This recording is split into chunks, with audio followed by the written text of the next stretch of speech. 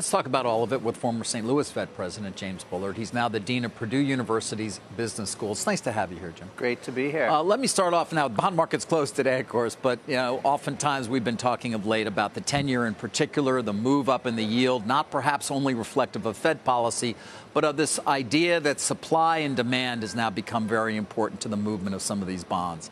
How do you think about that, in particular, the deficits that we obviously are funding right now and are going to have to continue to fund for quite some time? Yeah, it's an issue, but I don't think that's the main dynamic here. I think the main dynamic is you had SVB, which is about 200 days in the past here, and people predicted recession ahead because of SVB. That has not materialized, so the market has had to reprice, and that's where the higher yields are coming from, I think. You, so you're not as concerned that we're really just talking about an endless series of issuance that is going to tap out. There's plenty of issuance, yes, but uh, I don't think that's the main dynamic here. I think that uh, the the story that the U.S. was going to go into recession with very high probability in the second half of 2023 is just not materializing, and that has mainly what has caused the the 10 year to go back up.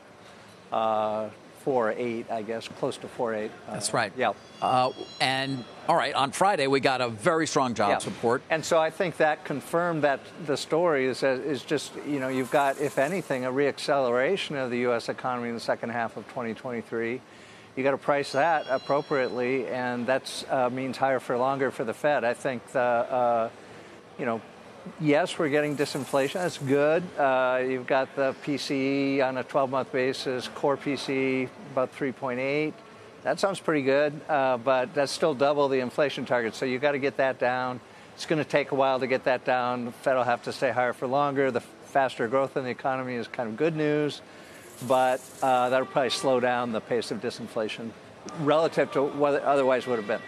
Do you think the geopolitical events over the weekend change anything with regard to the rate trajectory for the Fed? Yeah, I mean, I've been trying to digest it just like everyone else. Uh, markets hate uncertainty, of course. Um, this so far doesn't look like it's going to uh, cause uh, a lot of problems in U.S. markets. I guess my initial reaction is U.S. often benefits perversely because of flight to safety. Um, so then uh, you get downward pressure on, on yields, and that also would argue for higher for longer for the Fed. I always think back to your slide decks from a few quarters ago, where which were, I guess, seen as aggressive uh, at the time. But what were you seeing that suggested you thought the economy could handle those types of rates?